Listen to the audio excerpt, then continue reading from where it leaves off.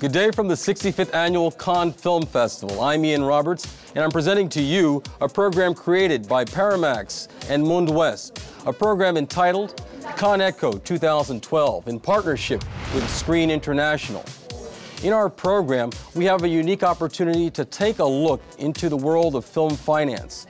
Through a series of interviews and roundtables, we gain valuable insight from the leaders of the film finance industry and how they are bridging the gap between unique storytelling and the financial resources to make them become a big screen cinematic experience.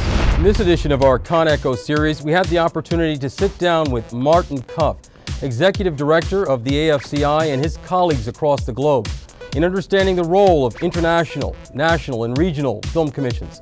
Let's hear what they had to say.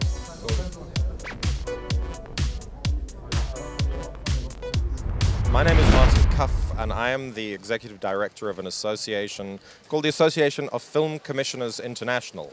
And collectively, we make up uh, government agencies predominantly who drive economic development from the film industry. The nature of film commissions and, and uh, film agencies that promote uh, the development of economies through film are all very different. And we're going to go through the team and discuss exactly how their film commissions are structured and the, the major roles that they play within their own communities. What are the Germans doing differently?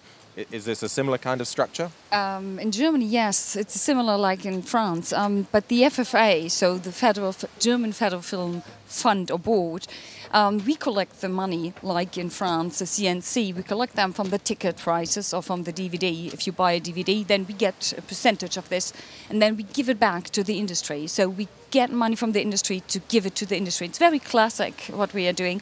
We're doing this since, I think, 45 years, so we are not that old, but we are also old for Germany. and in Germany, it's a special, I think it's very special in Germany because we're a federal um, country. So it means we have regional fundings and we have the national funding.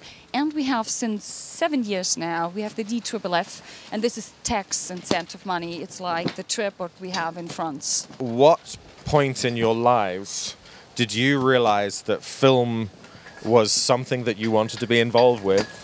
And at what point did it draw did it that it draw on you that the government had a role in this? That's a good question, but it's not so easy to answer. I think. Um, I think the first point was when I saw the first film, and it was Star Wars. We talked about this. Um, it was really so wonderful, and I thought, oh wow, I want to do also this kind of stuff. It was really it it was imagine. It was I don't know. It was more than power.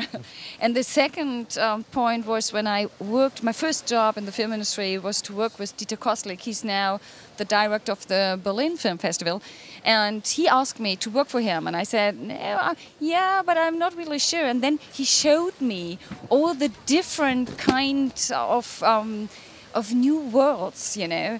You can you can work for world agent you can work for production you can work for distribution. And i thought wow there's so many things. And it's really it's an own an own word which I didn't know, and this and was the second almost point. Our, our role, I think, is to try and explain to people the multiple universes that we're able to to work in. As a combination of how you monetize culture and how you create opportunity for for real people. I mean, Cannes is fantastic, but it's the film industry is about real people and real jobs. Um, and I think that that's what. So thank you for continuing to do what you do and, and help make the economies work in your various places of origin. Thank you for watching our Cannes Eco 2012 series.